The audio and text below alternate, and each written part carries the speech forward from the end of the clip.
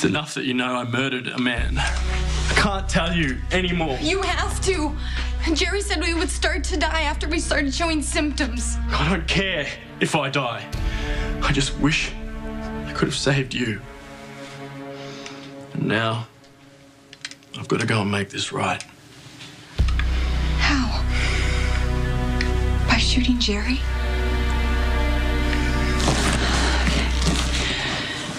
I'm leaving now. Thank you. I want to thank you because uh, I know that you thought it was crazy me coming out here, thinking that Robin might still be alive at the clinic. But you came through for me. I'm very grateful for that. You didn't answer my question. What about us? I don't know.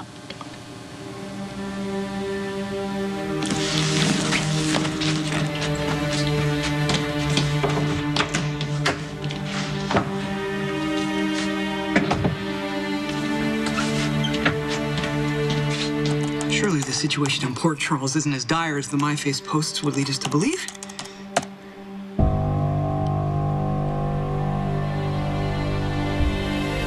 Listen, do you have any idea where Tear it apart if you have to. Tell me what you find. B, do you have any idea where Jerry has the antidote? I'll call you back.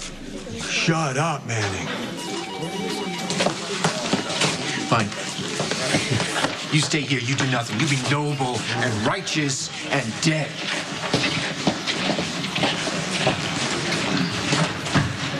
Make sure he doesn't get back in. How you feeling? You okay? You didn't answer him. Do you have any idea where Jerry put the counter agent? It depends. Do you know where those cards are? I killed our father.